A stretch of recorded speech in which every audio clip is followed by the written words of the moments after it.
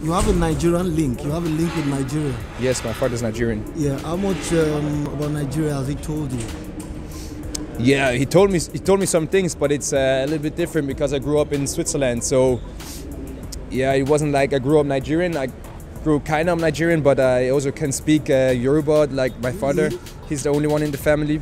But um, yeah, I learned some things. I had a nice food of, of Nigeria, and um, I'm I'm planning to go there soon. Oh, very good. Um, what, what what words can you say in Yoruba? Like Bawoni. Mbawoni, yes, and I know I know of my of my cousins. No, this is, is already too hard because um, he's trying to teach me some things, but it's so hard for the pronounce- pronunciation. Do you do you listen to Nigerian music? yes, all the time. Right, right before we lis- listen to Burna Boy and Davido. Yeah. Wow, fantastic. And um, how much of the Nigerian culture do you do you connect with generally?